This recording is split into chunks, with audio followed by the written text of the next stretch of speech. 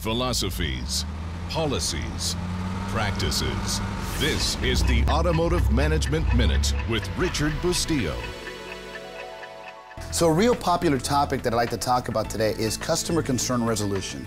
And being that we've won the President's Award four years in a row, that's always at the top of our leaderboard and things that we always want to work on. But even the best dealerships occasionally fail to complete and satisfy the customer in either sales or service.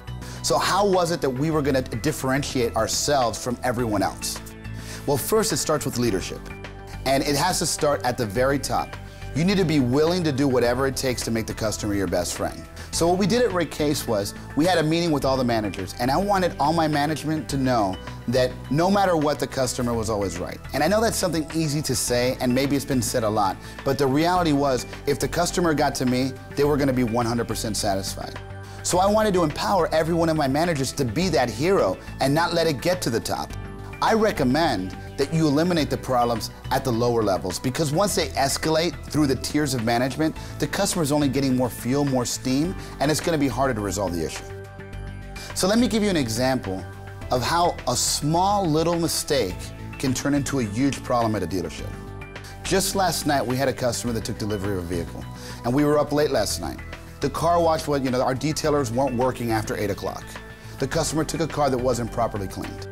The next morning, the customer calls up. The salesperson, of course, is off. He's not here. The customer then gets frustrated and asks for a manager.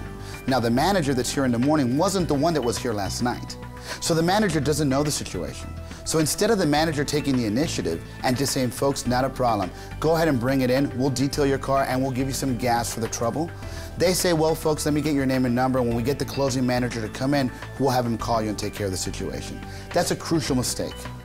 In those three to four hours, now the customer's even more upset. Now he's asking to speak to the general sales manager. Maybe he's in, maybe he's not. Maybe he's busy, maybe he's not. Let's say he doesn't get to him. Now they're calling me. Now I get a customer on the phone that bought a car that was a raving fan when he left, that now is a raving upset customer because of one thing. Our manager on the initial contact did not resolve the issue. So empower your managers to take care of it right then and there.